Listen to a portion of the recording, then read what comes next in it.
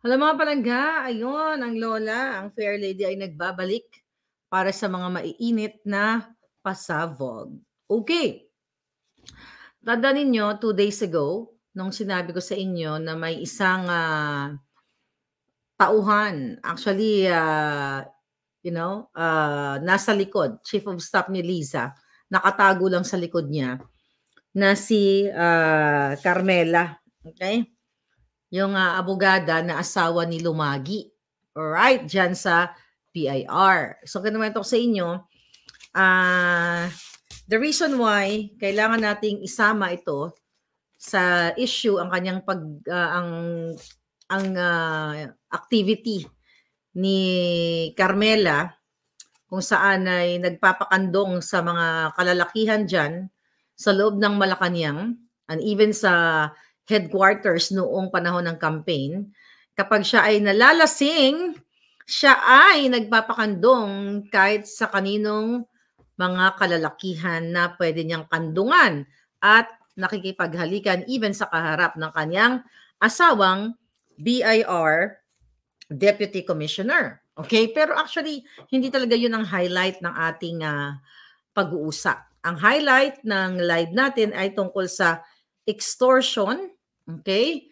Na patuloy na ginagawa ng kampo o ng na, not kampo ng ahas at kuting administration. So, everyday may expose tayo, lagi na lang hindi natatapos itong mga masasamang balita, madidilim na balita galing mismo sa loob ng Malacanang. Si Ma'am Parvina sa Likigochi, Orlando Nicolas, Rica, Roderick, ayan, si Roderick, at marami pang iba. Si Casey, nangunguna pala si Casey. Wapa Kels, Leonor, and Iman Mamon. Okay. So mga kababayan, recently, I think today, okay, may nanalo na naman sa loto. Okay, halos araw-araw na ngayon may nanalo sa loto. Balikan muna natin. May nanalo sa loto, nagsimula last year, 433 katao daw ang nanalo, pero until now, wala pa rin investigation kasi nga only in the Philippines and only, 'di ba? One, kumbaga nag-iisang bukod tangi na 433 ang nanalo sa buong mundo. Wala pang history sa buong mundo ang nana, may nanalo ng 433 katao sa iisang numero. At ang sangkot dyan, again, ang uh, General Manager Robles or aka Langka na bagman ni Lisa Smugs. Bagman kasabwat sa pagpapanalo ng loto na kaduda-duda. So ngayon, mga kababayan, bakit inuna natin itong si Robles? Kasi kasabwat siya at siya ang promotor dito sa extortion ngayon sa mga negosyante sa Pilipinas. Alright? Sino itong mga sangkot dito, mga kababayan? Alright? Sino ang sangkot? Si Lisa na naman ang may, o oh, sabi ko nga sa inyo, lahat ng kapalpakan ng gobyerno, lahat ng pandarambong, lahat ng pambubudol, wala na pong iba, kundi si Liza Ahas Marcos, ang promotor, ang author, ang boss, 'di ba, ang higher up, lahat lahat ng pangbabribe o pagpapay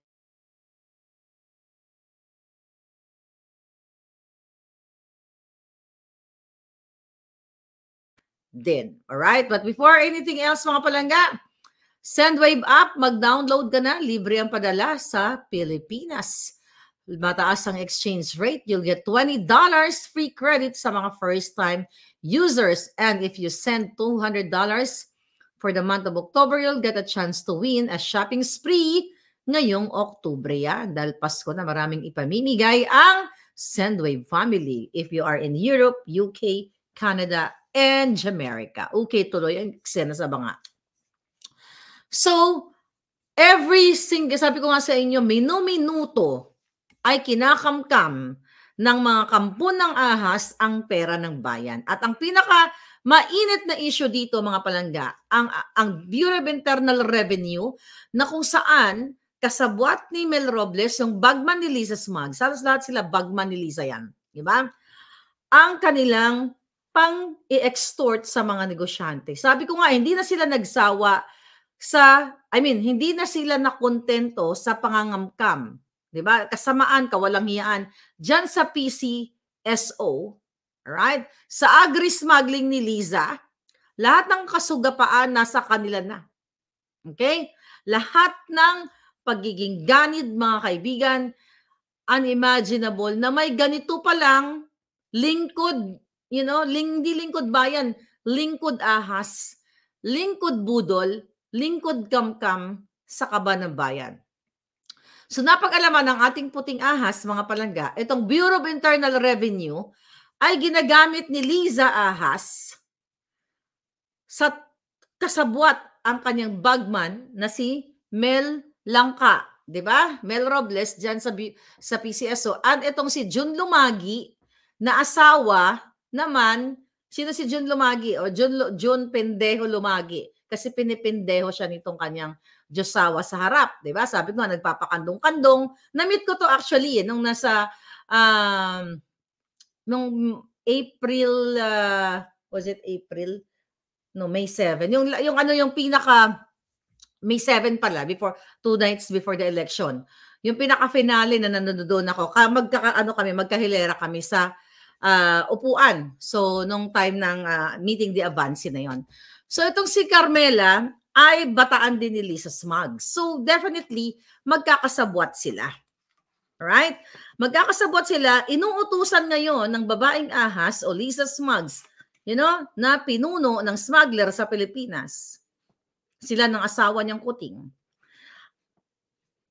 Itong si Mel Robles, ang BIR um, commissioner, deputy commissioner, para mang-extort ng pera sa mga maliit man o malaking negosyante sa Pilipinas. Imagine niyo paano uusad, paano magkaroon ng malagong kabuhayan, okay, ang ating bayan. Itong mga malalaking negosyante o maliit man o middle lang na gusto maghanap buhay ay hinahanapan ngayon ng butas ni Liza A. Saraneta Marcos. Nakatuwang niya ang BIR Deputy uh, Commissioner Lumagi at Silangka para mangolekta ng, hindi mangolekta, mga sip-sip, okay, ng multi-milyong piso sa mga kaawa-awang mga negosyante. Anong ginagawa nila palangga? Nagsabwatan nga, well, magsabwat silang lahat, di ba? Sa utos ni Lisa Smugs, syempre, sino ba nag-appoint kay uh, ah, BIR, uh, no? Deputy Commissioner na lumagi? E di si Lisa Smug. Sino ba si sino ba si Lumagi? Siya lang po naman ay pakalat-kalat during the campaign diyan sa headquarters na nag-head inutusan ni Lisa din na isa sa maging you know mag mag-head doon sa vote protection unit. Ito yung sinasabi ni Attorney Glenn Chong na hindi naman nagamit. Remember, remember nung May 9, yung kinakwento ko sa inyo na maraming mga computers para i-ensure na hindi daw madaya si Kuting. 'Di ba? Doon si Lumagi, yung commissioner ngayon, uh, deputy commissioner ngayon ng BIR, siya yung pakalat-kalat doon na nag-head doon. Okay? Inatasan siya ni Liza na hindi naman nagamit yung vote protection unit kasi nga nakipagsabuatan na si Lisa Smug sa Smartmatic. Okay, maintindihan nyo? Yung BIR commissioner, ang asawa niya ay kumakandong sa iba't ibang mga lalaki kapag nalalasing siya dyan sa Malacanang and even before during uh, even during the campaign ng 2022. Okay? So kahit sa harap niya, talagang pukpukan talaga yung mga yan. Ano? Talagang ang bababoy dyan. Ganun yata talaga ang laro ng, well, you know what, the fact na binababoy ang kaba ng bayan, mas may mas may masahol pa ba sa pangbababoy ang ginagawa nila? So sabi ko nga wala naman tayong pakialam sa mga personal pagpakandong-kandong ni Carmela o magtsuktsakan sila dyan sa harap-harapan. And the problem is mga balangga, ang pera ng bayan ay sangkot dito. At ngayon, ang mga negosyante ay pinagdidiskitahan nila. So, ang ginagawa sa utos sa basbas ni Liza Smugs, inatasan ang kanyang mga ahas din na sindakin ang ating mga negosyante. Mga negosyante palangga. Right? Ang ginagawa nila, mm, ngayon, ang ginagawa nitong uh, grupo ni Lisa Smugs ay sinisindak nila ang mga uh, negosyante para ano? Para syempre matakot. Right? Wala silang pakialam kung ito ay kakilala nila, kaibigan nila, you know, basta ang gusto nila ay kumamkam sila ng pera. Kalaban ka man o kaaway, ang importante, magkapera si Lisa, si commissioner, si general manager, at si tatargetin ka ng bonggang-bongga. Yun po ang nakarating sa atin na hinaing ng mga negosyante at kaawa-awa po sila sa ginagawa na modus operandi ni Lisa Smugs, ni Mel Langka at nitong Lumagi. At kasama si Carmela dahil chief of staff you know, behind the scenes siya, nandyan kay Lisa, definitely, lahat ng mga collection ni Lisa ay how ay uh, alam ni Carmela. Ngayon, anong ginagawa nila? Okay, yung mga buhayang ito, mga jutang buhayang ahas, you know, ginatukob nila, tinutukob, you know, tukob, ginaganon, I don't know kung ano sa Tagalog yan. 'Di ba? Nilulunok nila ng buong buo ang mga negosyante, mga kababayan. Sinabi ko na to last night, nahahanapan nila ng butas Okay, sa mga tax, so may mga konting flaws, di ba? Itong mga, mayay, mga mayaman ka man o middle, you know, yung hindi naman ganun karaming multimillion na sobrang malaking negosyante. Basta, ang gagawin, hanapan ka ng butas. Di ba sinabi ko na sa inyo? Then, pag nahanapan ka ng butas, sasabihin ng BIR Commissioner at sa pagkipagsabuatan ni Langka at ni Lisa, sa basbas ni Lisa, oh, makipag-areglo ka na lang para hindi ka na maganito, ganyan, di ba? Ito ay makipag-areglo ka na. So, anong tawag dyan? Hold up o hold up? Pangangamkam. Di ba? Pangangamkam sa mga taong naghahanap buhay. Kung talagang tapat sila sa kanilang negosyo, sa na, well, negosyo, sa kanilang paglilingkod sa bayan, which is never which, which is never naman na naging tapat si Robles. Okay? Mel Robles na bataan ni Lisa na dati pang may kinasasangkutan na pagnanakaw yan sa kaba ng bayan nung siya ay nasa LRTA. But anyway, ang kanilang modus mga kababayan, sisindakin nila ang mga negosyante, mga po, itong mga negosyante nagsumbong sa atin. You know, they're not really put, yeah, parang puting ahas na rin sila. Na sinasabi nila, Miss Maharlika, grabe na po talaga ang nararanasan namin dito sa Pilipinas na pang, pang gigipit sa amin ng gobyernong ito. Hahanapan kami ng butas, then, you know, pipresyohan kami ng ganitong halaga pag hindi kami nag uh, pag hindi kami sumunod. So wala daw silang choice. So, kung talagang may nalabag itong mga kumpanya na ito. Alright? Kasi syempre ang layunin natin bilang isang fighter ng katotohanan wala dapat sinisino kay kamag-anak ka, kaibigan ka, kung hindi ka nagbayad ng tax. 'Di ba? Eh may kaparusahan dapat. As BIR commissioner, dapat it, ilalagay mo yung tama. Pero hindi. Ang gagawin nila, hanapan ka ng butas o taniman ka ng butas o eto, makipag-areglo ka na lang. 10 million, 5 million, da da da da da. Pera. Ang diretso sa ang bag uh, delivery kay Lisa Smugs paghahati-hatian ng mga hinayupak na ito. Kaya mga kababayan, alam mo sa araw-araw, iba-ibang mga tao ang nagme-message sa akin. At uh, actually, nakakalungkot kasi na-absorb ko lahat. Pero I think this is my calling. Ngayon, hindi lang siya nagtatapos. Di ba sinabi ko din sa inyo in the past, ng mga vlog natin, si Lisa, si Mel Robles, ito si Lumagi, lahat yan sila magkakasabwat. Nakita ko yan sila dyan sa Pilipinas. Pati Pogo, di ba? Sinasawsawan ni Mel uh, Robles yan. La, Lisa kasama dyan sa Pogo. Operation na yan. Ba't ganon pa man, mga palangga? Yung mga Chinese KTV, okay? Kinakamkaman din ni Lisa at ng mga grupo niya. Kinukutungan nila. Okay? Kinukutungan sa pamamagitan ng BIR. Okay?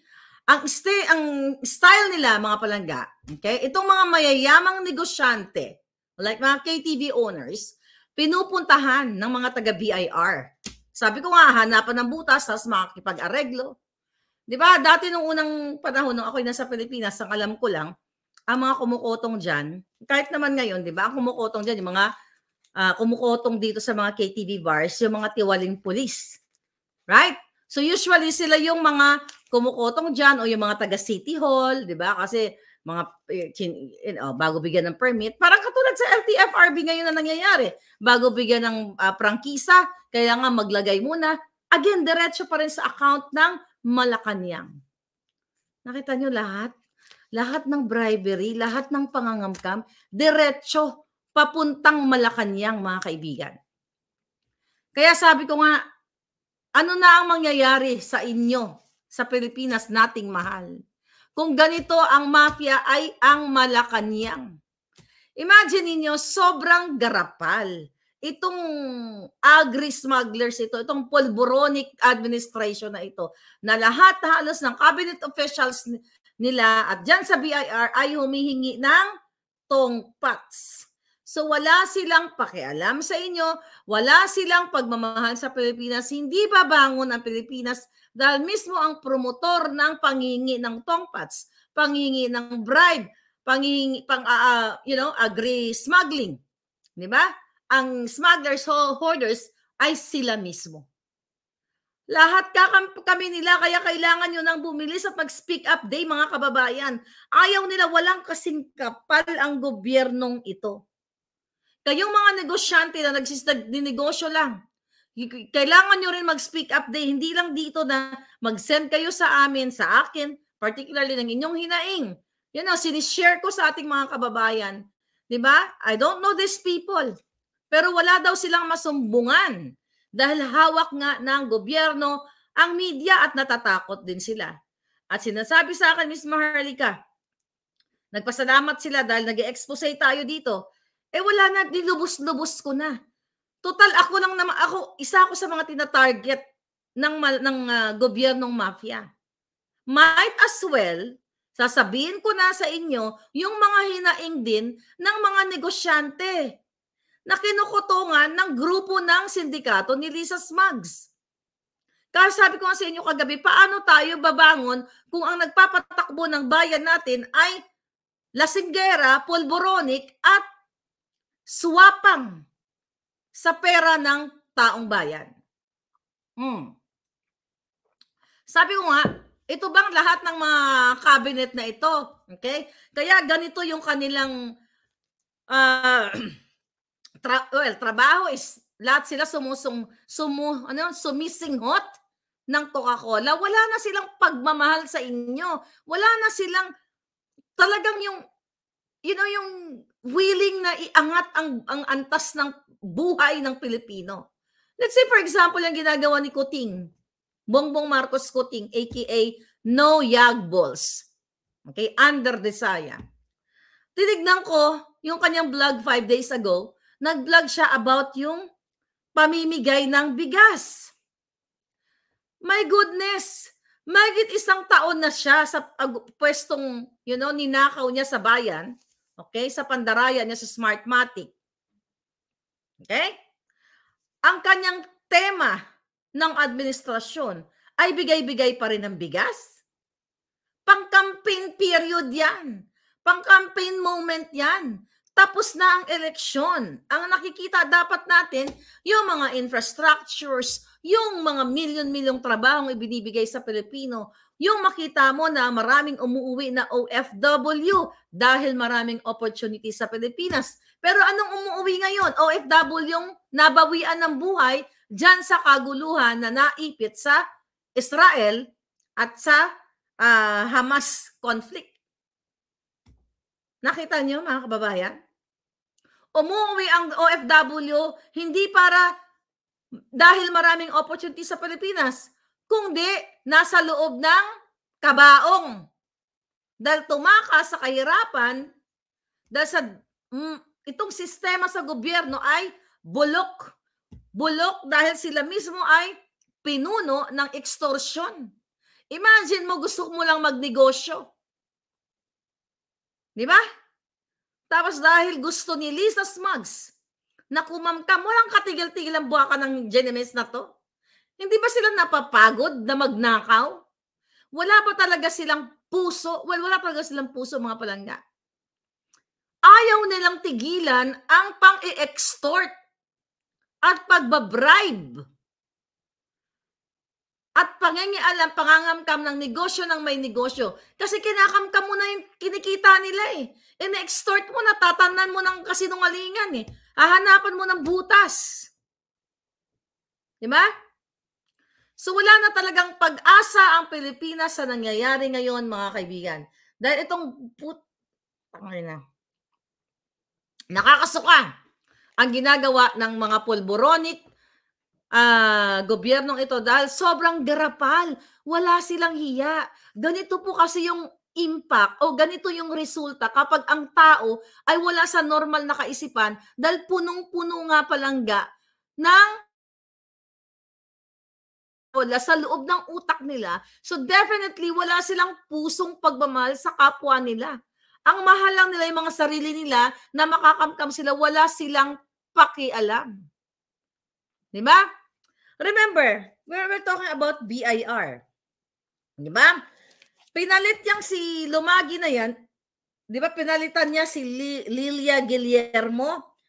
Tandaan nyo, si Lilia Guillermo ay appointed din ni Kuting noong June of 2022. Okay? Ngayon, ano nangyari? Di ba tinanggal ni Lisa yan? Bakit tinanggal ni Lisa Smalls yan? Bakit ko sinasabi tinatanggal ni Lisa? Dahil ang nag-a-appoint mga kababayan ay hindi si Bongbong Marcos. Ang nag-a-appoint ang ginayupak na si Lisa Ahas. Siya ang nag interview ng mga i-appoint. So, definitely hindi si Koting. Di ba? Naalala nyo itong si Lilia. Nung nagsalita si Lilia Guillermo, dating commissioner ng BIR, na sabi niya ay tinanong siya ng media na kung tukolektahin ba daw niya ang estate tax na 200 something 203 billion ni ng pamilyang Marcos, ng family Marcos. Anong sabi ni Lilia diyan? Sabi niya, I will tell the president to be a role model. Ibig sabihin, sisingilin daw niya kung talagang kailangan may bayaran na tax si Kuting, sisingilin daw niya para maging role model. So ano nangyari? Like after that statement, niligwak ni Liza Ahas Araneta Marcos aka smuggler polboronic, butod, modlo, lahat tanan-tanan na putot, niligwak si Guillermo. At ipinalit nga ito si June Pendejo Lumagi. At ngayon, itong si Lumagi, bataan na ni Lisa para mag-extort ng pera sa mga negosyante. Kanya-kanya silang toka. Pero si Mel Robles, lahat sinasako, Pogo, President uh, ah, PCO, pinakikialaman niya. Ayun, ngayon, BIR. Tapos yung loto na maya-maya may nagpapanalo. Ni isa sa mga jutang genemes sa Kongreso at Senado, wala man lang naglalakas ng loob na talagang susugin kung sino itong pinanalo ni Robles at ni Liza na 433 katao. Kasama dyan si Ray Joseph Nieto or aka Taning Pinoy. Sa pang papanalo nila sa lottery. Na supposedly ang pera ng mga panalo sa lot- loteryang yan para sana sa what? sa mga may sakit, mga educational program, livelihood program. Pero sana pupunta yung pera Napupunta kay Lisa, binibitbit papuntang offshore account sa pakikipagsabuatan nga ni Robles. Sabi ko nga, kung talagang matino ang ating gobyerno, which is hindi matino ang Congress at Senado, isang patawag lang dyan kay Robles. Di ba? Para magpaliwanag dyan sa issue ng PCSO. Pinag-usapan na natin yan, yung kanyang uh, advertising budget. You know, 19 million in 2022, then now 2023, naging 400 something million. 433 yata. But anyway, nakita ninyo, kung ipapatawag lang yan at i-check ang immigration record ni Lisa Smugs also and ni Robles, makikita na pabalik-balik sila sa Europa para, hindi para magtrabaho, kundi para magdeposito. In the first place, itong si Robles, ano naman ang mission niya sa Europe? Lagi nasa London, laging nasa offshore aka, ano nila, area, offshore bank. Bakit? May bola ba ng loto sa Europe na kailangan pumunta si Mel Robles maya-maya doon? Ang trabaho niya, ang mandato niya, nandyan sa, lo, sa lot, sa PCSO, na kung saan natulungan ang mga kababayan natin sa kanilang mga medical expenses o yung nga mga livelihood program at kung ano-ano pang mga magagandang proyekto sana sa sambayanan. Pero bakit pabalik-balik sa Europa? Bakit wala man lang ni isang kongres, kongresista o senadora, senador na mag-push dito kay Robles na magpaliwanag? Bakit? Takot sila dahil ang boss ni Mel Robles ay si Liza Ahas Araneta Smugs Butod, Potot, Mudlo, Polboroni. Di ba? So, ano ang eksena dito mga palangga? Alam niyo ba kung magkano ang presyo ng tongpats na hinihingi ng mga bata okay, ni Lisa Smugs, okay, na si June Lumagi, si uh, Mel Robles nga. Well, bata taga ni Lisa, bagman niya yan. Diba? Kasab, kasab, kasab. Nagsisinghot yata lahat ng mga ito, kaya mga hinayupak, wala nang alam kundi mga extort na mga extort. So umaabot, ayon sa negosyanteng nagtimbre sa atin mga palangga, isang milyong piso hanggang dalawang milyon ang kanilang kotong sa mga negosyante. Imagine nyo sa dami ng negosyante sa Pilipinas. So ang catch dito, mga kababayan kong palangga, ang ginagawa ng BIR, ang resibong ibibigay nila dito, ibibigay sa negosyante ay what? How much? 100,000 lang or 2 or 200,000. So sisingilin nila, o sige, may nakita kaming discrepancy dito, o ganyan ganyan. O, magbayad ka ng isang milyon. So ang gagawin nila, ito po, galing sa negosyante in-extort nila. Ang ibibigay sa mga negosyante, 100,000 ng resibo or 200,000. Kung 2 million, kung 1 million, 100,000. Ito si kawawang negosyante, takot na takot silang lumabas excuse me, ngayon kasi ang sabi sa akin, Miss Maharlika, natatakot kami kasi iba na ang pakiram, iba na ngayon sa Pilipinas. Parang pag nagsalita ka, pwedeng ipasara ang negosyo mo or sasabotahin ka or gurgurin ka. So again, sa basbas ni Liza Smugs, kuha ka ng itaga itong babae ito, hindi pa nila mo ng lupa sa pakikipagsabwata ng kanyang assistant dyan, na si Carmela din, na kumakandong kung kani-kaninong boylet, pag nalalasing, pareho sila ni Lisa Smug. Sabi ko sa inyo, nag-orgy yata yung mga hinayupak na yun dyan. Kasabwat sa pang e-extort sa mga negosyante. So, ibig sabihin, kung 1 million, tapos 100,000 na ang resibo, merong 900 what? 900,000 kaagad sa kaba ng sa bulsa ni sa chan. Papasok sa chan ni Lisa Smugs. Alright? Imagine nyo mga palangga. Sobrang kawawa ang Pilipino. 2 million ang mapupunta isang daang libo o 200 million lang. Di ba?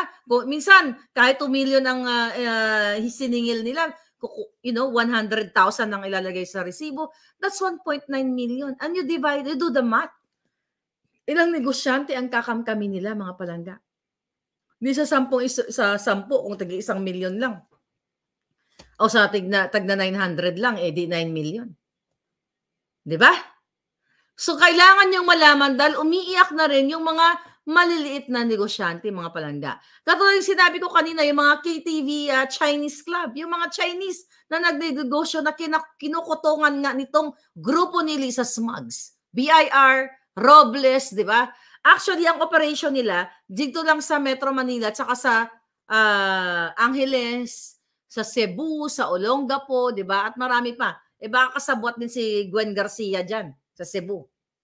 Di ba? Kumusta na yung bigao na yan? Hmm. Ngayon, mga palangga.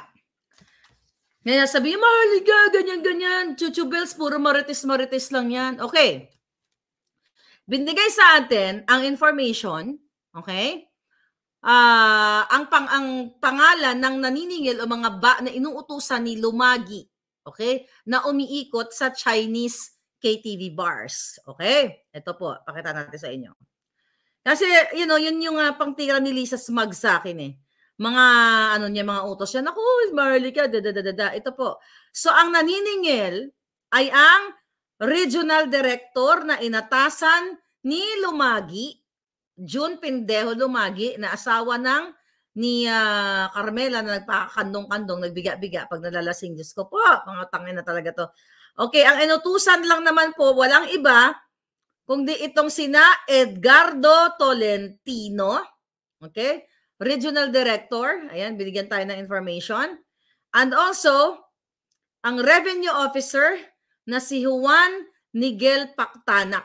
Ito, pakita natin. Sinend po sa atin ito ng mga biniktima nilang. Okay, natin to. Pakita natin sa atin, mga palangga. Ayan. Okay, Revenue Officer. All right. Ito pa. Ito, in-screenshot sa atin. I hope mukhang hindi naman to madidetect itong mga nagbigay sa atin ng information. October 6, 2023. Ayan, mga kababayan.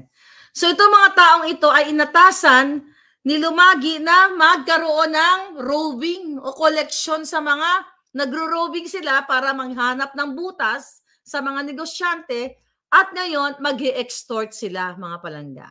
So, imagine ninyo, okay? Mga kababayan, inaatasan, sino ba, sinong ulo nito? Sabi ko, si Lisa lahat ng ulo dito, mga palangga.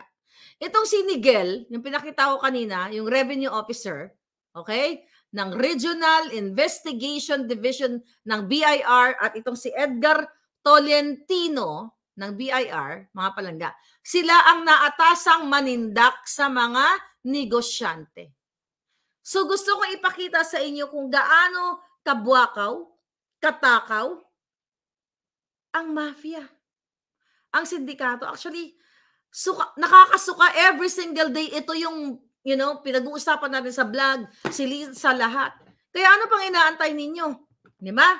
Kailangan maputol na natin ang ginagawang pangangamkam ni Liza Smugs.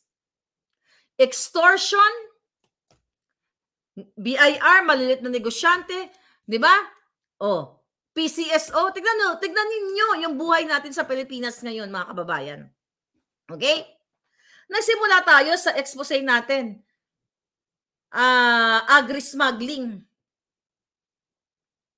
Sino ang promotor? Si Lisa at si Kuting.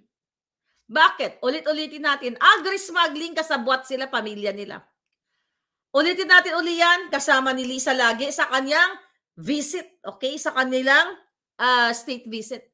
At hindi na yan pinatawag, kundi pinrotektahan pa. Diyan nagkakapera sila. Then, nagkakapera sila sa mga posisyon na kapag binigay ang posisyon, di ba? Let's say sa SBMA o sa kahit saan pa, manghingi sila ng kapalit. Ipoposisyon kita, you have to pay 100 million. Di ba katulad nung uh, binanggit ni Attorney Glenn Chong kanina, yung nakanood sa interview na may nagsabi sa kanyang fiscal, nakaibigan niya, naka-dinner ka-dinner ba niya? Na, nag-dinner sila. Then sabi ganoon, eh talagang sobrang um, ano tawag dito, dismayado sa gobyerno dahil itong kaibigan na kaibigan ng fiscal gusto mag gusto mag uh, pa-appoint sa ganitong trabaho, sa ganitong posisyon, tapos ang sabi eh 300 million ang pamasahe. Ang pamasahe meaning bribe, yun ang ginamit ni pang ni uh, Attorney Glenn Chong na term. Bribe. Ngayon, kung gusto talagang, kung gusto mo talaga magpa-appoint, you have to pay 300 million. See that? 300 million? At the same time, you know, kapag na-appoint ka na, hindi magtatapos ang delivery mo kay Lisa Smugs. Ang delivery mo sa Malacanang. Kasi kung ano man yung posisyon na yan, like sa Bureau of Customs, tuloy-tuloy ang pera. Yung mga tara lang dyan sa mga container na pumapasok, di ba? Sinabi ko na nga sa inyo, 20 million ang regular na entrega ng mga tiwali dyan sa Bureau of Customs sa Malacanang o sa Royal Family. Yan ang code ni Lisa Kuting at ng kanyang pamilya. Ang code name niya sa Bureau of Customs ay Royal Family at si Prinsipe naman si Martin Araneta. And now, sabi ko, hindi na, hindi na sila napapagod sa smuggling, hoarding sa kakamkam, Bureau of Customs, sa PCSO, maya-maya na panalo, sa PAGCOR, at sa marami pang iba na sa iba pang mga ahensya anaw sa Bureau of Internal Revenue. Nakita niyo yung extortion, talamak, lahat LTFRB, di ba? Hindi nga ganun kalaking ano yan, kalaking departamento. So lahat na lang mga kababayan na nakikita nila na pwede nilang kamkaman, kakamkaman nila. Sabi ni Joy Magre, grabe mga tax evader, nakakawa Pilipinas, sa totoo lang. Sobrang nakakaawa. So walang kabusugan. Suga pa. Okay? Sabi ni Lilibet San Pedro. Right? Ngayon lang nagkaroon ng administrasyon na grabe ang bentahan ng appointment, sabi ni Miss Vivian. Exactly. Nakita ninyo lahat na lang gustong kamkaman. Sabi ko, puta ngayon to mga ito. Hindi sila napapagod. Michael Matt at Smugs is in relation. Bakit laging magkadikit? Sabi ni Merlinda Balita. Business partner nga palangga. Smugs partner sila. Tapos, di ba? Si Kuting, nag-distribute ng bigas, naggumawa ng vlog, ipinapakita. Ano sabi ni Kuting doon? Sabi niya, ito, sinulat ko. Okay, sabi niya, nilibot ko ang bansa sa pamimigay ng smuggled rice. See? Pinamimigay niya yung smuggled rice. Di ba? Pero ang totoo, hindi naman talaga smuggled rice yun. I mean, bigas nila yon. Well, smuggled pala. Okay? Smuggled naman talaga yon and inismuggle mismo nila. Why? Hanggang ngayon, June 24, nung nagsalita siya, ay July rather, July, nabilang na ang oras ninyo, mga hoarders, mga smugglers. Hanggang ngayon, walang mailabas si Marcos Jr. at si Tambaluslo, si Romualdez, na kahit, sabi ko nga, kahit isang uh, hibla ng uh, buhok o bulbul nitong mga ano na to, smuggler na to. Why? Kasi they're part of it. Ngayon, ang sabi ni Kuting sa kanyang vlog, 25 kilograms ang, bin, ang binubuhat nila. Kaya kahit mabigat nabubuhat nila, malaking bagay pang tawid sa, sa kanilang pamilya. You know, magtatagal daw isang isang ilang linggo, ganyan-ganyan. Sabi niya, bakit natin ginagawa ito? Sabi ni Kuting. Dahil dapat direkta nating uh, binibigay, tinutulong ang ang, ang uh, tinutulungan ang taong bayan. At ito kahit kahit papaano sabi niya, itong mga kawalang hiyaan ng mga hoarders and smugglers dapat napapakinabangan ng taong bayan. Actually, walang diin yung kanyang vlog. Kasi hindi niya masabi, hindi niya nga, ma- subukan mumurahin yung mga smugglers yan ni Kuting. Hindi niya mamura-mura yan. Alam mo kung bakit? Eh, minumura niya yung sarili niya, tsaka asawa niya, at saka brother-in-law niya at buong angkan niya nasangkot dito sa smuggling. So hindi natatapos ito mga palangga, mga kadramahan ni Kuting. No, we're gonna help the farmers from market from uh, market ano from sabi niya from market road, you know, from the market gate. Sabi niya, uh, price ano yun sa tawag dito sa mga what do you call it, sa mga farmers sabi niya, from market to the kadiwa, da da da da, dali natin mula sa mula sa mga farmers, idadali natin sa kadiwa, tulungan natin itong ating mga farmers, da da da da, da bullshit. Kasinungalingan mga palangga. All right? Mula sa mismo sa sakahan, 'di ba? Papunta sa pamilihan, katarantaduhan. Kasi ang pinoprotektahan niya ay smugglers. At now, meron na naman silang bago. Eh, hindi ito bago, matagal na. Pero ngayon lang po kasi may nag-message sa atin na business owner na ini-extort nila ng milyones. Tapos inire-resibuhan ng isang daang libo lang, dalawang libo, pero dal- dalawang daang libo, pero dalawang milyon o mahigit pa ang kanilang sinisingil. So lugi na naman ang taong bayan. Imbes na itong mga perang ito na kung talagang nagkama, talagang may discrepancy sa stocks nila, itong mga negosyanteng ito, yung pera dapat napupunta yan sa kawani ng gobyerno at nang maibigay sa taong bayan na naghihingalo sa gutom. Pagod na pagod na ang Pilipino sa katatrabaho, especially yung mga mga uh, yung mga like blue collar job. Okay? Yung mga mabababang klase ng trabaho, like construction worker, nagtitinda lang na kumikita ng 600 pesos a day or 1,000, mga ganyan. Sila talaga yung kawawa. Kasi sila yung araw-araw na sumusuong sa buhay. You know, lahat naman tayo eh. Actually, hindi lang yung mga yun. Kahit mga nag-oopisina, nurses, teachers, you know, kawawa talaga lahat ng Pilipino dahil ini-extort ni Liza, katuwang ng kanyang mga alipores, ang pera na para sana sa Pilipino. At ito namang mga negosyante na nagtatrabaho lamang at hindi ko naman, for sure, yung iba dyan, mga tiwali din, you know, Kaya hindi rin sila nagbabayad ng tamang taxes nila, kaya din sila nasususog. Pero kung talagang i what do call it, ipatupad ng BIR ang tama na o ito, nagkamali, hindi nag-declare ng tamang taxes. Di ba? Singilin mo kung dalawang milyon utang niya, 3 milyon, katulad ng ginawa ni Duterte noon, di ba?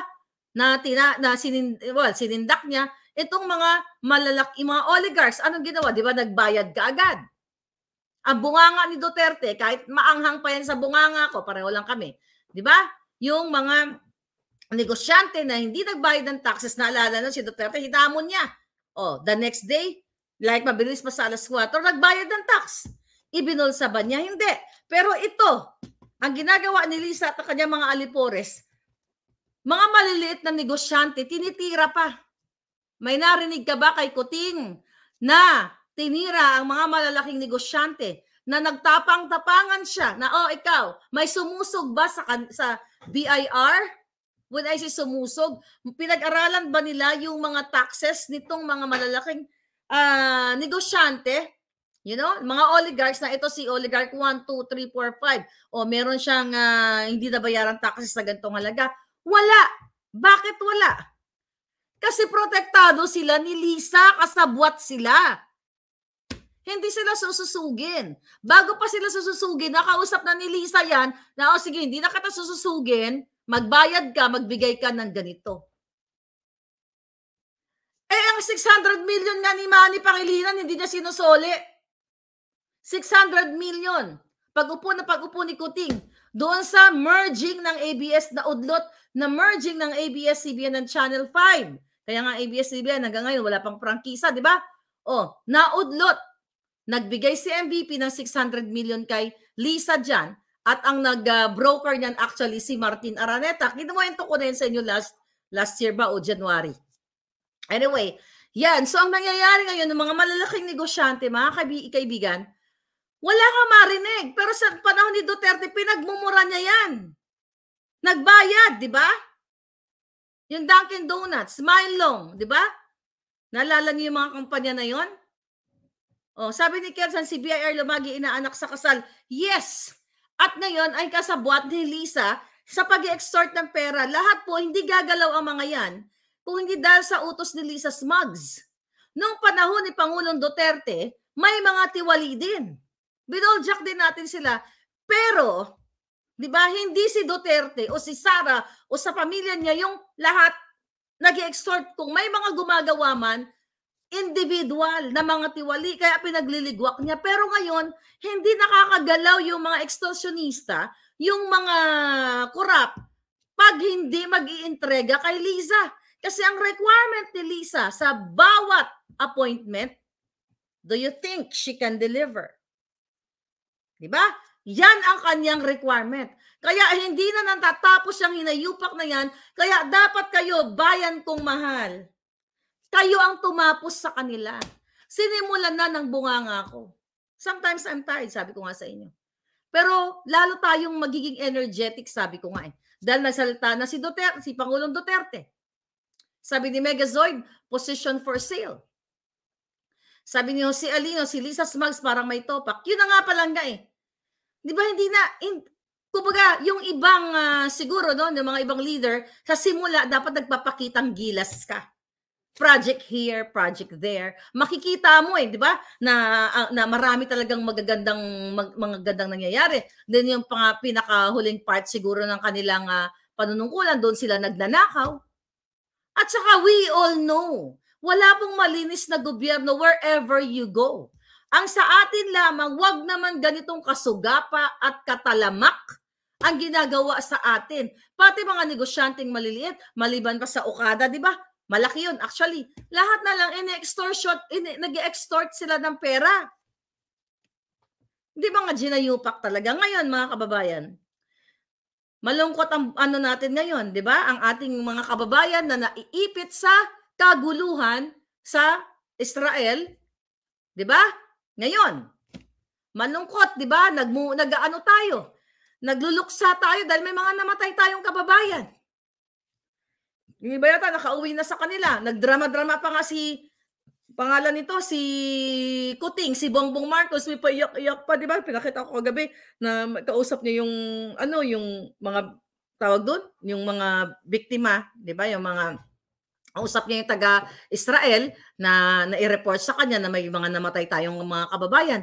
Di ba? Yung photo op niya, yung mga drama-drama niya, optic-optics lang.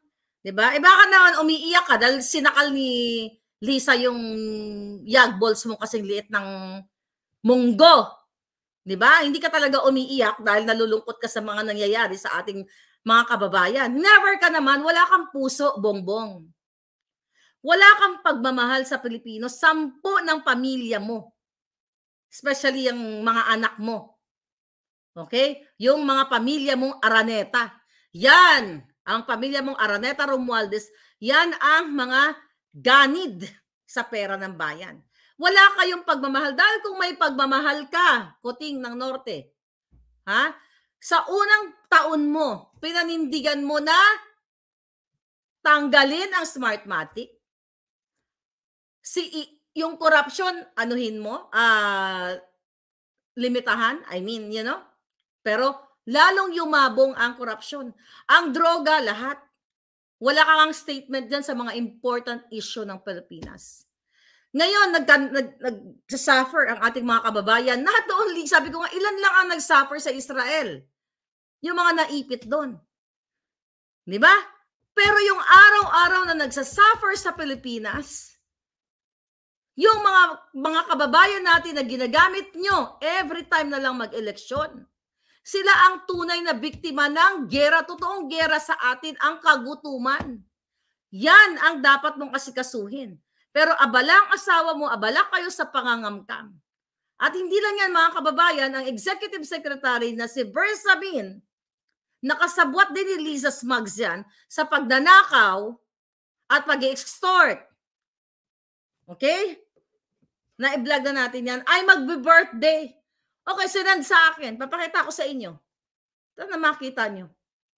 Napaka walang ano, walang ang tawag dito, walang delikadesa, walang insensitive. Okay.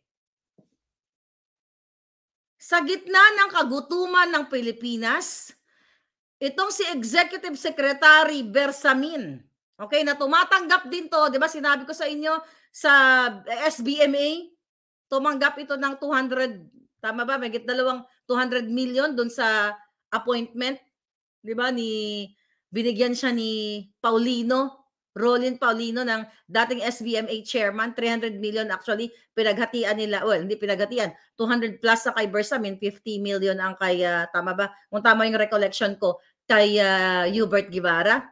So ngayon mga kapalangga, sa gitna ng kaguluhan at naiipit nating mga kababayan at naghihirap na Pilipino, pare-pareho sila magbe-birthday. Ito, pakita na natin. October 17 pa kasabay nung uh, pagdinig doon sa disqualification case ng Smartmatic sa Comelec. Sabi dito, okay, the honor of your president, ito po ay sekreto.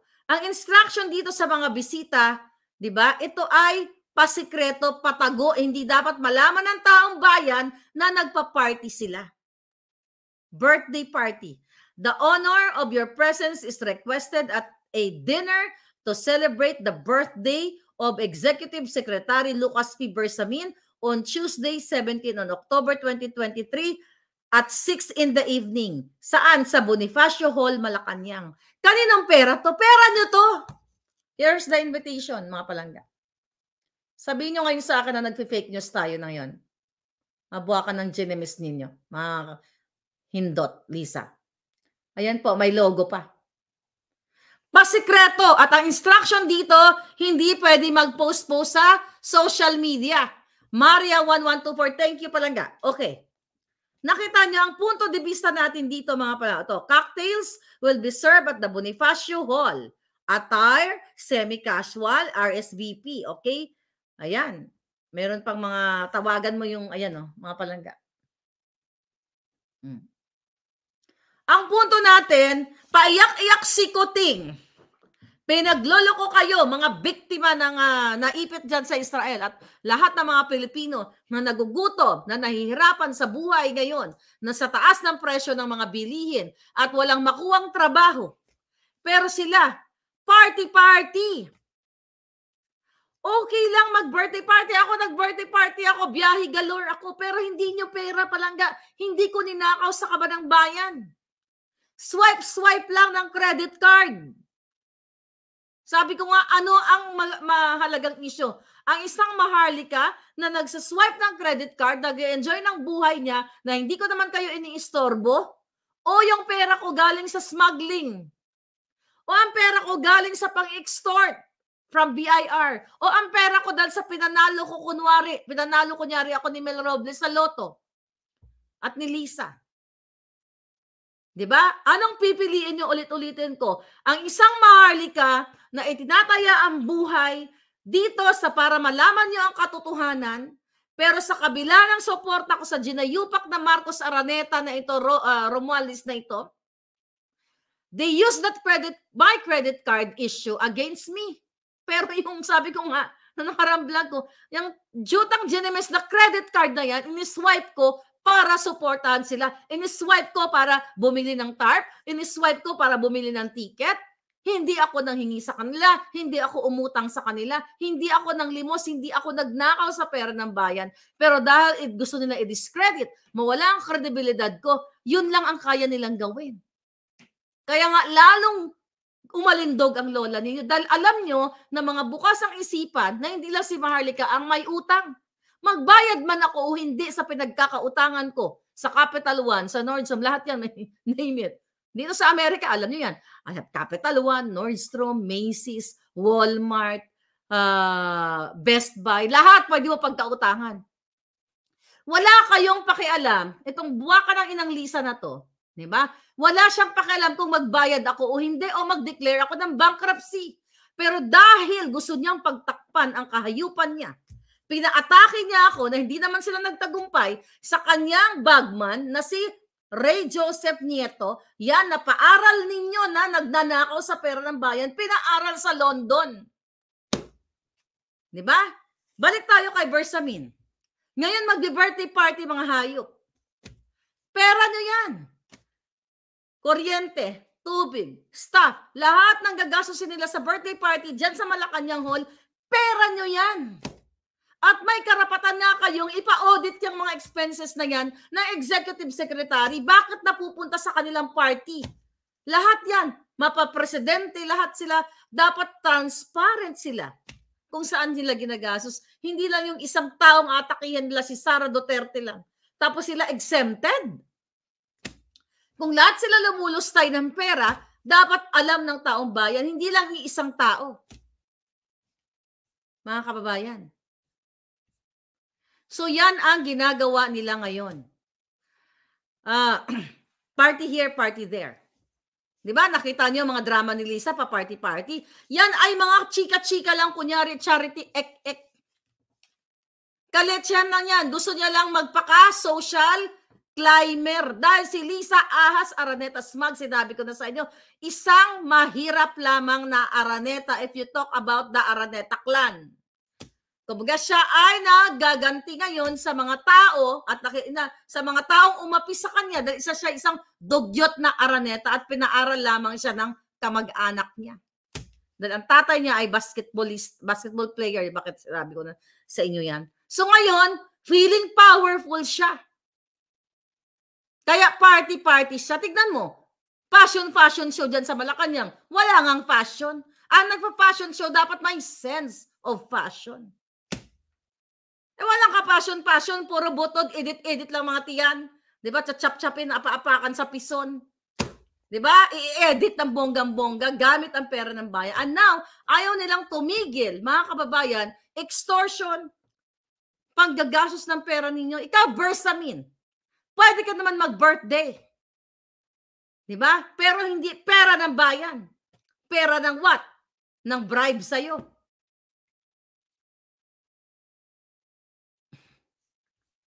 Buisit. Nagpa-fashion sa alak at pulburon, sabi ni Vince Otnes. Yes! Yung mga fashion nila, mga kunyari charity ng katarantaduhan lahat yan mga palangga.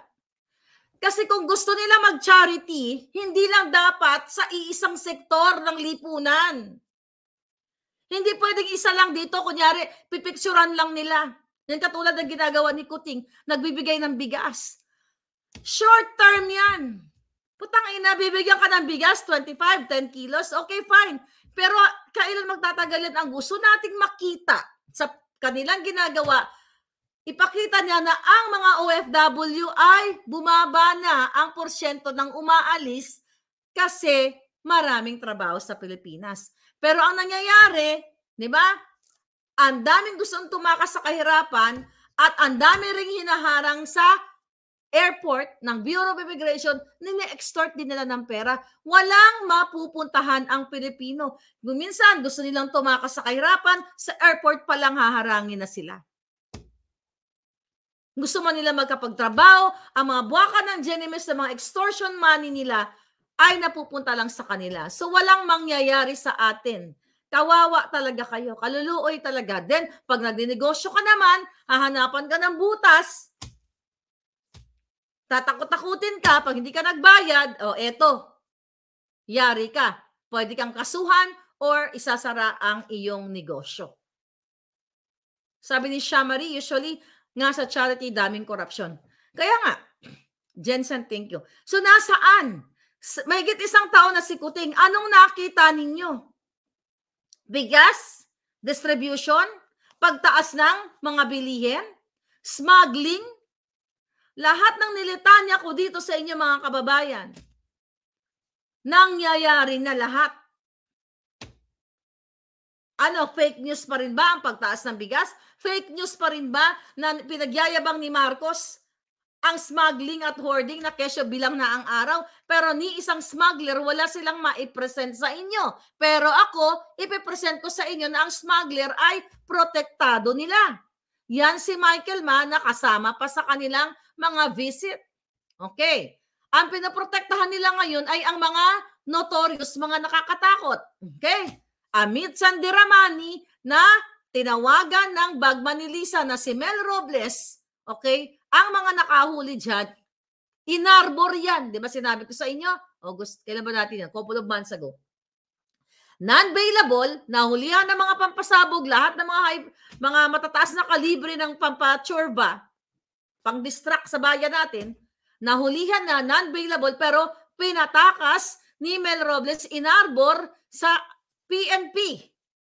At ngayon ay malayang nagliliwaliw at protektado pa ng gobyerno. Alright? So kaya nakakagalit mga kababayan. Oh, ito pa. Ulit-ulitin natin.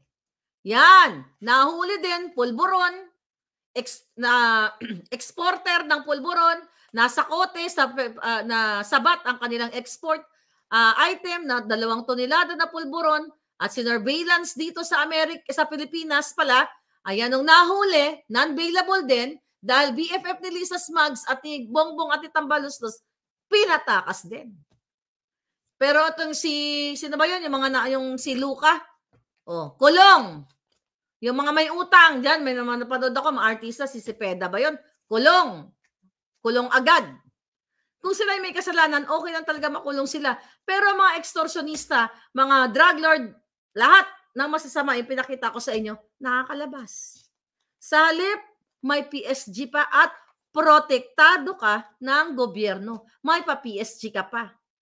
Sa ngalan ng pera ng bayan at pag-aabuso nila sa kanilang power. Kaya sa panahon ngayon, parang mas okay pa ang maging smuggler ka o party ka ng sindikato nila kasi hindi ka makukulong. Sa halip ay bibigyan ka pa ng protection. Protektado ka with PSG again. Isasama ka pa sa kanilang mga state visit. Nakita niyo mga palangga? So you have to speak up day. Kailangan niyo magsalita dahil buhay niyo po ang nakasalalay dito. Buhay ng mga, buhay niyo ngayon Ramdam nyo naman ang kahirapan ngayon sa Pilipinas dahil sa pagninegosyo. Di ba? NPA na ang protector nila ngayon. Kaya sustentado nila, sabi ni Karma. Exactly. Di ba yung mga kaliwang grupo, nakipag-meeting kay Tambaluslos, ang ganda ng mga ngiti nila. Anong sinisigaw dati niyan? Marcos, Marcos, diktador. Di ba? Bakit ngayon tahimik sila, wala nang diktador-diktador? Kasi sinungal-ngalan na ni Lisa ang kanilang mga bunganga through pera ng bayan sa pamamagitan ni Martin Romualdez dyan sa Congress.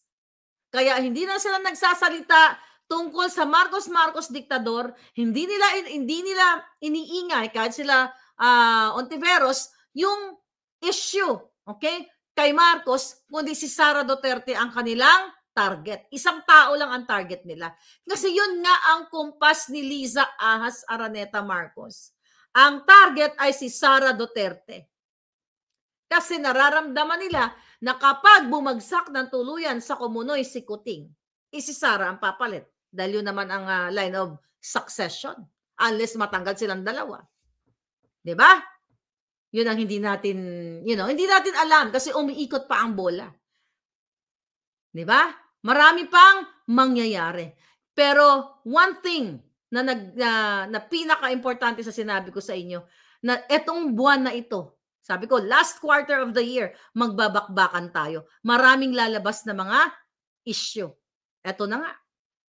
Kasi alam na alam ko na ang author ng lahat ng ito walang iba sa pandaraya, pagbabribe lahat at paninira sa isang tao ay si uh, Lisa Marcos.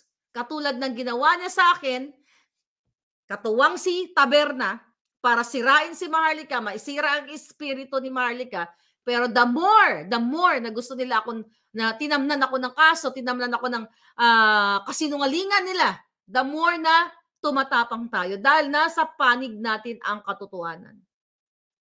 Imagine nyo, last year, hindi ko pa pinapangalanan ang salitang babaeng ahas. Right?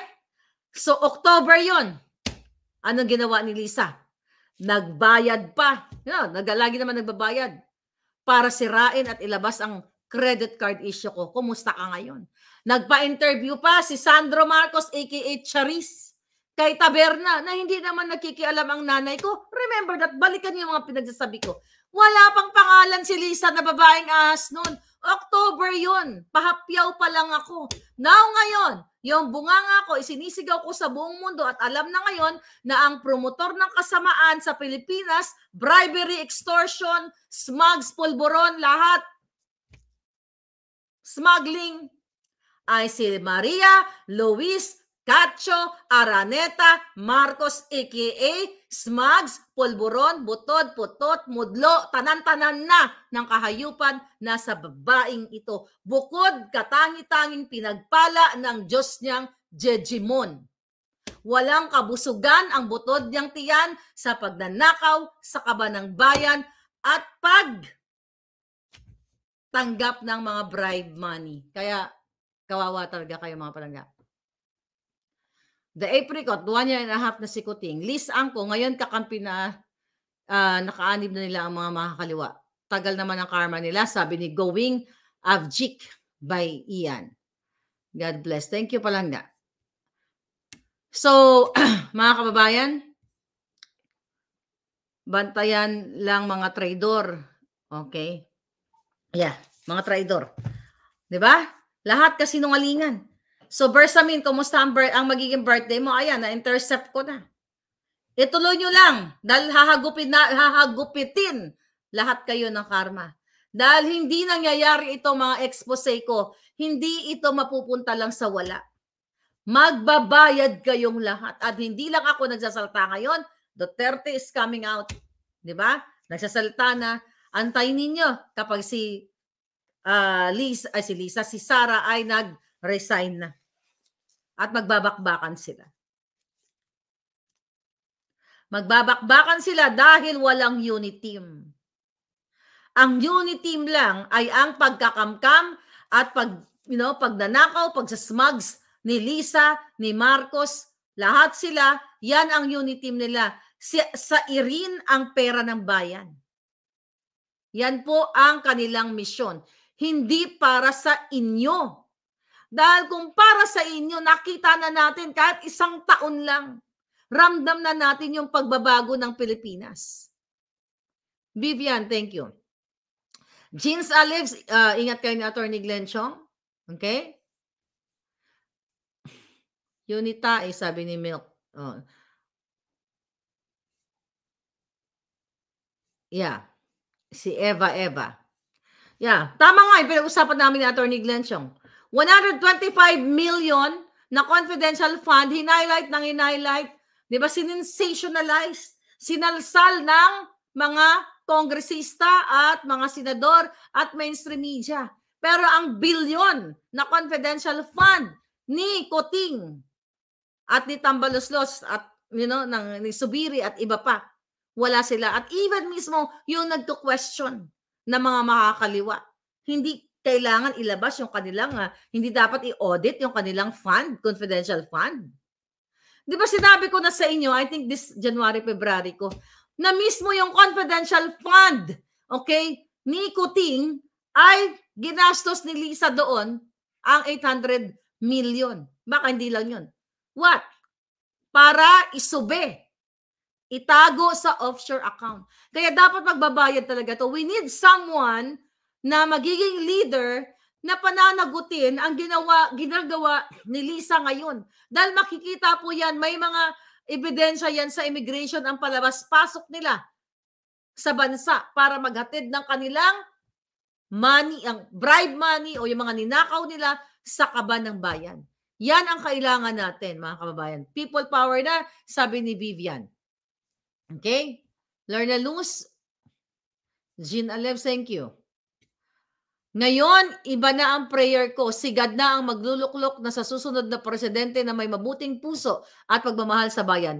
Isa rin ako sa nagpray na sana manalo si BBM. Mali pala yon sabi ni Orlando Nicolas. Yes! Pareho tayo ng dasal palangga. Diyos na magsabi kung sino ang susunod na leader. Pero ngayon, kailangan natin ng ball jack every day. Kailangan ipakita din nila yung kanilang mga, i-audit din nila ang uh, ipaliwanag nila yung mga ginastos nila. Hindi lang pwedeng si Sara lang, dapat lahat sila. 'Di ba? Kasi malinaw pa sa sikat ng araw na ang target ni Lisa to destroy Sara. Kasi masyadong malakas si Sara. And I hope Sara will do something also. 'Di ba? Kailangan tumayo na si Inday. Puro corrupt sabi ni Myra. Alam mo lahat naman, lahat naman ng lahat naman ng magiging leader, meron pa ring issue ng corruption. Ang sinasabi lang natin dito, ito sobrang talamak. Suga pa. Wala kang nakikita mga infrastructures. Nasana ang build, build, build. Di ba? Wala. Ang ginagawa nila, build, build, build ng sarili nilang bahay. Kaya na-question ang mga inayupak na ito, itong mga makakaliwa, itong mga mainstream media, ng 125 million na uh, confidential allowance ni Sara Duterte na pinaliwanag niya na ginastos niya doon sa mga bata para, you know, magkaroon ng training at nang hindi ma-recruit ng mga makaliwang grupo. Pero ang isang bilyon na binili ni Anton Lagdameo na, na bahay sa Forbes Park, isang bilyon. Wala pang isang taon si Kuting, hindi nyo questionin. Yung binili na mala Beverly Hills na bahay ni Jay Santiago ng uh, Philippine Ports Authority, di ba? Hindi nyo question. Ang binili na bahay ni Lisa, diyan sa La Union at sa Iloilo na galing sa Kaban ng Bayan sa confidential fund at sa pangangamkam, hindi nyo question. Ang bahay ni Paul Soriano, yan ang binil nila sa McKinley Hills. Na galing dyan sa, uh, ah, DO, sa Department of Transportation at galing sa pagiging presidential advisor on creative communications niya. Okay, na piso lang daw ang sweldo, pero nakakapag-build, build, build ng multi-million bahay, wala ni isang reporter, wala ni isang kongresinado ang nag-iimbestiga. Pero si Sara, 150 million, you compare 150 million na confidential fund ni Sara na ginastos niya based sa kanyang uh, pinresent doon sa mga kabataan na you know, hindi ma-recruit sa pagiging rebelde sa 1 billion na bahay na binili ni Anton Lagdameo, Dark Choco, aka Dark Choco. Na ang kanyang salin is less than, less than 100 million lang. So hindi nag bangga sa kanyang asset o sa kanyang uh, salin ang 1 billion na bahay, 200 million yung salin. Saan siya kumuha ng 9, extra 900 million? At kung 100 million lang ang pay, ang asset mo o salin mo, Di ba? Saan mo kinuha yung 900 million? Definitely, kung yun ang pera mo, hindi mo ibibili lahat ng bahay yun. Kung bibili ka lang naman ng bahay, siguro kung 100 million o 50 million na 5, 100 million ka mo, yeah, 50 million, di may natira ka pa 100 million. So, saan siya kumuha ng, ng billion-billion na yun? ng isang billion. At ang pagpapatayo din ng mga bahay ni Tambaloslos. Ang pagpapatayo ng mga properties, even ng Chief of Staff ni Sandro Marcos. Lahat sila nag-build-build ng bahay. May nakita ba kayo na nag-build-build-build sila ng mga malalaking project sa panahon ni Kuting? Wala. Wala silang planong mag-build-build. Kasi ang plano nila sa gobyerno, sa bayan, lubog, lubog, lubog, ilulubog kayo. Sink, sink, sink. Not build, build, build. Ilulubog kayo sa kahirapan, ilulubog kayo sa pulburon. Yan ang plano nila. They're not for the people. Mga bangag sila palangga. Patuloy kayong mahihirapan kaya sa mga bagong pasok dito sa channel ko, itinaya ko na po yung buhay ko. Syunga ka na lang o sarado ang utak mo kung hindi ka sasama sa misyon natin para mapanagot, para matapos na ang kawalang hiyaan ng mga ito. Para sa pa, pa, yabong, totoong pagyabong. But I am praying so hard. Sabi ko sa, uh, nagdadasal ako na, sa Lord, nakakapagod. Kawawa naman yung mga Pilipino. Kawawa naman sila. Magbigay ka naman ng leader, talagang leader na gagawin nila yung tama at least. Nakakata- nakakapagod araw-araw sa totoo lang na maisip mo ito yung ginagawa na naging, sabi ko nga, instrumental ako dito sa pagkapanalo ni Kuting. Although, ang nagpanalo talaga sa kanya, Smartmatic. Pero ako nalulungkot na parang kung maibabalik ko lang. Kung maibabalik ko lang yung panahon, mga panangga. I don't know. Pero sabi ko nga, siguro sinadya ng Diyos na mangyari ito para makita natin, para hindi na tayo nag-away-away noon. Nag-away-away tayo noon eh. Pula, puti, dilaw, no, ganoon. Tapos kami, mga pulahan na si Bongbong dapat manalo kasi ganito, ganyan, ibabangon niya, iba na siya, da, da, da, da, da. Pero pinakita sa atin na mas hayop, mas masahol pa kay Noy Noy na sinasabi natin. Mas masahol pa sa dilawan. Pinakamasahol na gobyerno itong kay Kuting at AS administration. Kaya mga palangga, sabi ko nga, kung noon 100% ang binuhos ko sa campaign ni Kuting para matulong panalo siya. Ngayon, 1 million percent ang ibubuhos ko na lakas para matapos na ang kahayupan ng asawa niya, nilang lahat. Thank you mga palangga.